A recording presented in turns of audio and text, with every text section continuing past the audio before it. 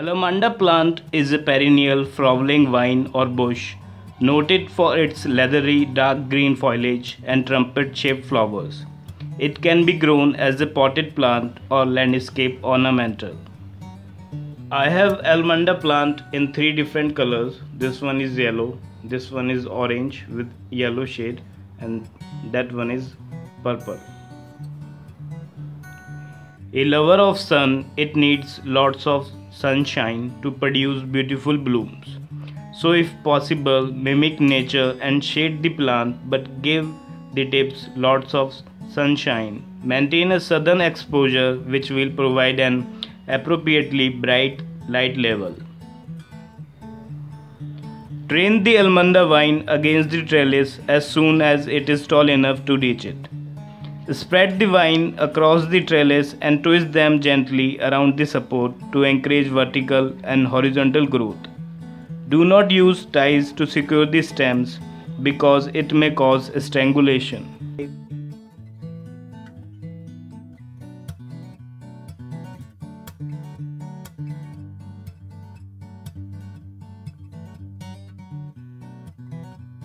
For potting mix, mix 40% normal garden soil, 20% organic compost or vermicompost, 20% coco peat and 20% fine sand. Mix it well.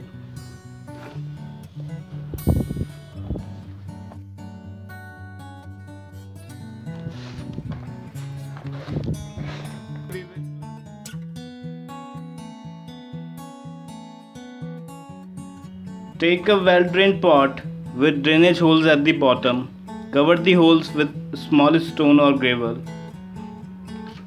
and fill it with the potting mix.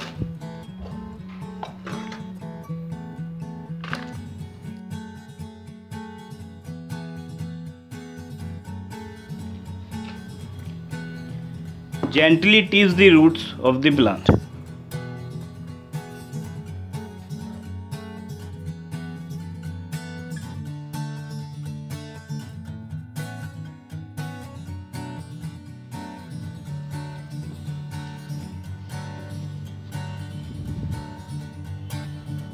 Make a hole in the center and gently place the root ball in the hole.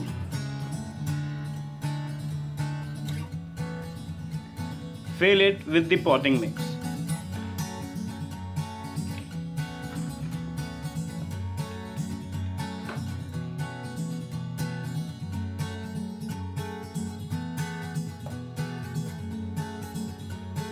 Tap the soil around the stem. Water in thoroughly.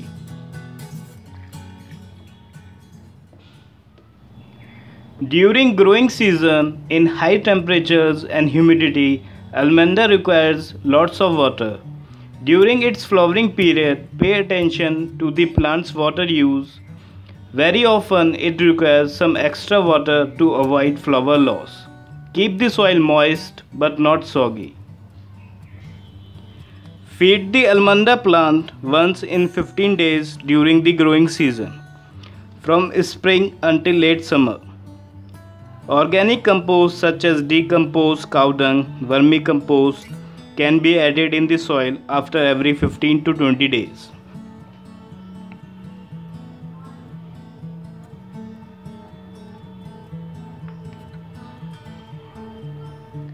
NPK fertilizer are good for allamanda plants. Dissolve 1 teaspoon of 10 ratio 10 ratio 10 or 20 ratio 20 ratio 20 NPK fertilizer in 2 liter of water. You can directly give this mixture in the soil or you can foliar spray it on the leaves. Always water immediately after adding fertilizer in the soil.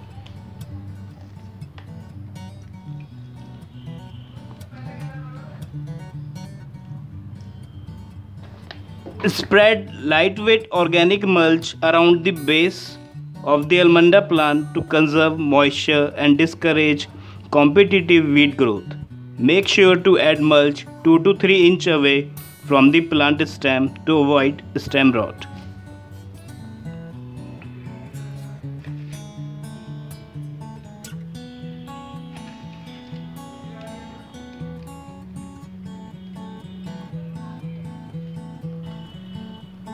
Prune the allamanda vine in late winter or early spring to control its size and improve its appearance.